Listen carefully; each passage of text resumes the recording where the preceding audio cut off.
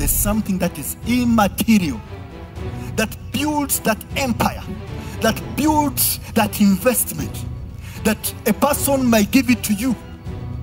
I can get everything I have and give them to you, and two months later you're broke. I'm telling you. You don't inherit the physical, you inherit the immaterial that builds the material. And you will see this over and over. I've seen these things everywhere.